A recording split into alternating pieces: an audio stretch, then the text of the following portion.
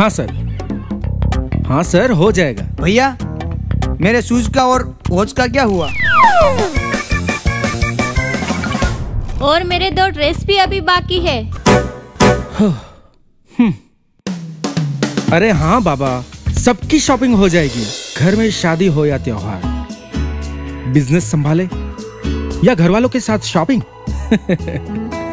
लेकिन मुझे कोई टेंशन नहीं। स्नैप फ्लिप्स है ना?